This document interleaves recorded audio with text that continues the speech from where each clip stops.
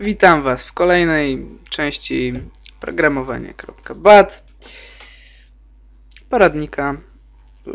Dzisiaj omówimy sobie zmienne, jak je ustawiać, jak je odczytywać. Tak, jak y, wprowadzać je do programu.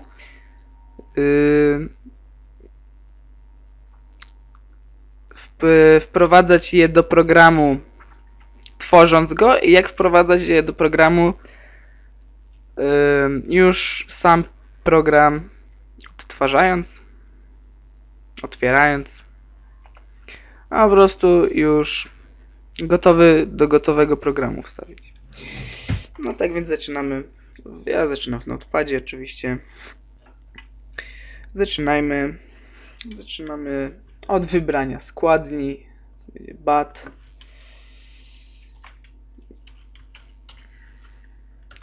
Zaczynamy od tego polecenia, które już omawiałem. To jest polecenie, żeby każda kolejna komenda nie była yy, wyświetlana. No. yy, Dalej, już przy okazji powiem Wam o komendzie title.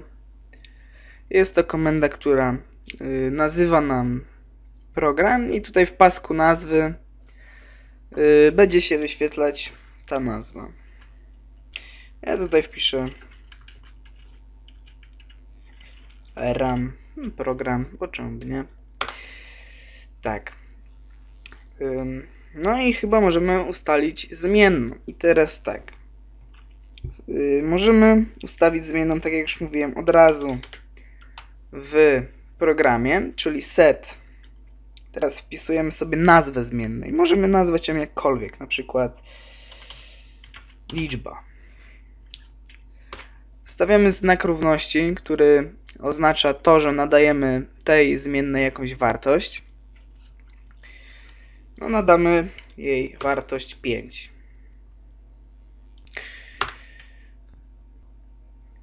No. Dalej, yy, po tym, yy, wyświetlimy sobie tą, tą, tą liczbę zmienną komendą echo, którą już też mówiłem. I jeżeli chcemy odczytać, to zawsze musimy umieścić nazwę zmiennej w procentach. No i żeby potem program się nie wyłączył, ustawimy sobie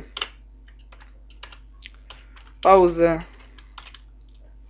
A ja tutaj zastosuję jeszcze pauzę 0 i no wtedy, no wiadomo, już w tamtym odcinku to omawiałem. Nie będzie się wyświetlać komunikat. No, zapiszemy sobie. Albo nie, dajmy zmienna. Zapisz. I teraz wyświetliła nam się zmienna. No, wyświetliła nam się zmienna. Czyli ustawiliśmy zmienną liczba, liczba 5 i echo yy, nam wyświetliło tą właśnie liczbę. A potem kliknąłem, no to program się wyłączył. Teraz tak, jak, zro jak zrobić, żeby yy, wprowadzać liczbę już na działającym programie, czyli w tym momencie żeby wprowadzić liczbę. Wtedy musimy po prostu ukośnik P. I to będzie już, że mamy wprowadzić tą liczbę. I liczba 5 zamiast tutaj równa się. Y, tutaj zamiast wartości tej zmiennej wpisujemy tekst, który ma się wyświetlić, czyli na przykład wprowadź wprowadź liczbę. Mm, tak. Zapiszemy. Wprowadź liczbę. Wprowadzamy liczbę. No ja wprowadzę 2. Wyświetliło się 2. Jeszcze raz. wprowadź liczby. Wprowadzę 7, wyświetli się 7. I teraz, żeby może żeby nie było już tego wprowadź liczby, liczby mm, możemy zrobić coś takiego. Wtedy ta komenda CLS ona po prostu czyści ekran, czyli tutaj się yy, tutaj się zmienna yy, pokaże się napis wprowadź liczbę, wprowadzimy liczbę yy, ekran zostanie wyczyszczony i liczba zostanie wyświetlona. No, będzie to działać mniej więcej tak. Wprowadź liczbę, wprowadzę 5. Aha, no tak. No, nie zapisałem programu. Tutaj skąd wiem? Bo teraz przed nazwą jest gwiazdka. Teraz o, zapiszę. Wprowadź liczbę 5. Ekran się wyczyścił i napisała się piątka. Tak się właśnie ustawia te no zmienne. Mogę sobie tu zamiast liczby nazwać zmienna. Tylko, że wtedy tutaj też muszę zmienić. Zapiszę. No działa to, działa to identycznie. Wprowadź liczbę 3.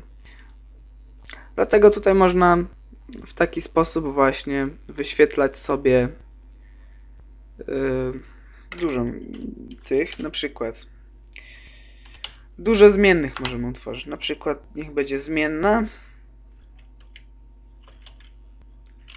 Niech będzie zmienna 1 i zmienna 2. No.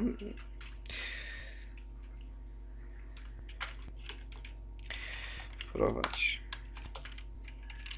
Wprowadź niech będzie. Wprowadź pierwszą liczbę. Jeszcze tutaj nie o, bo niestety y, konsola nie odczytuje polskich znaków.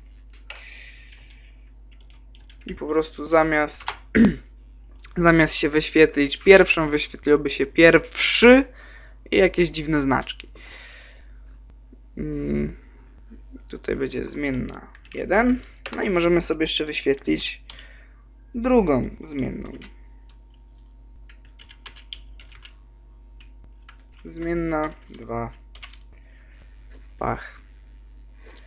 Zapiszemy. Wprowadź pierwszą liczbę, niech to będzie 2. Wprowadź drugą liczbę, niech to będzie 6. Wyczyściło, wpisało 2 i wpisało 6. No i teraz jesteśmy na pauzie. W ten sposób możemy dodawać to nieskończoną ilość tych zmiennych, tylko każda musi się inaczej nazywać. Może to nie wiem, nazywać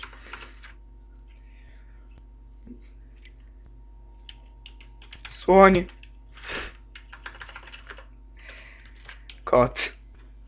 W ten sposób też to możemy nazwać żeby nie było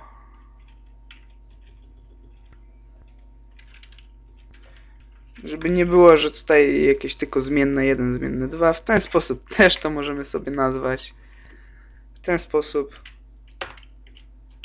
też to będzie działać. Oj. No.